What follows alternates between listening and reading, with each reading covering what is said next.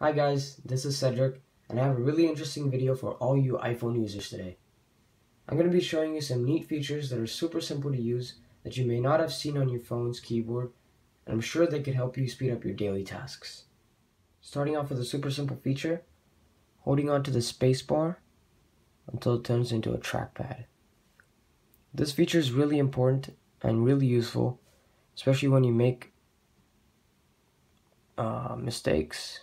All you have to do is just go in, correct the word, rather than click on the word and try to figure it out this way. It's so much easier to just use the spacebar and drag the cursor around.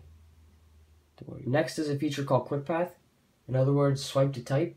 All you have to do for this one is just place your finger on the keyboard on a letter and just swipe to the next subsequent letter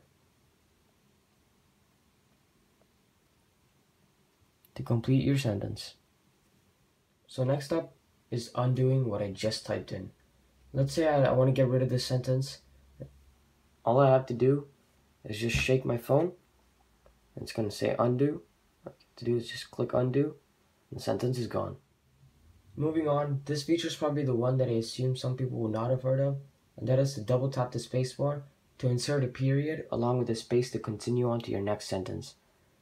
So I could say not too bad. Double tap spacebar, inserts a period along with a space for me for my next sentence. I can say thanks.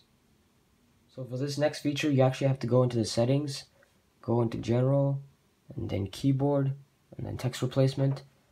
And basically this feature allows you to have symbols, um, words, letters, anything to have uh, as a shortcut for other phrases and sentences.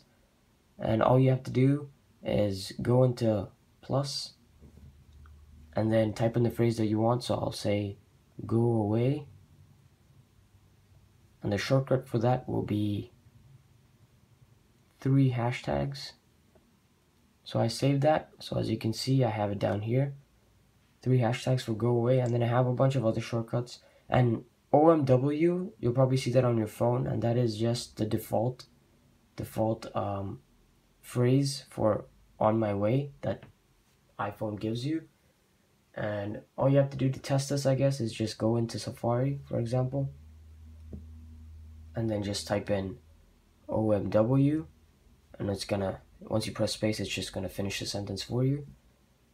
And I had um, three hashtags, so that's to give me go away. Moving on is a feature that I personally never use, but I feel some of you might enjoy trying this out. That is the one-handed keyboard. And all you have to do to activate this one is just go into the globe that you see at the bottom left, click it, and hold it, and then you'll You'll have options between the left hand side keyboard and the right hand side keyboard. I'll go to the right for now. And as you can see, this is meant to type with your right hand. And then I'll just say thanks again with only my right hand. And then you can say go into the left one.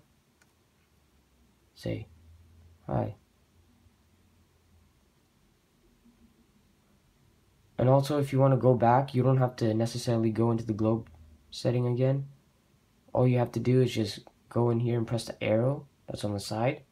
And it'll give you the two-handed keyboard again. Switching to the one-handed keyboard could especially be useful if one of your hands are busy and you need to send a text. So the next one, the final one, I'll give you a bonus. This feature is not really on the keyboard, but rather on the calculator app. And I'm sure many people have this problem, and that is especially when you're typing super long equations. For example, let's just say 24 times 8 times 9 times 7 minus 1, 2, 6, 9, 7. And you want to um, backspace, but you see that there's no real button. Even if you go on the landscape view, um, you don't see any backspace button. So many people get really angry at this, but it's actually super simple all you have to do is just swipe on the number when it backspaces, right or left anyway. So that's it for today. Definitely comment down below if you enjoyed the video and learned something new. Lastly, don't forget to like and subscribe, and I'll see you soon.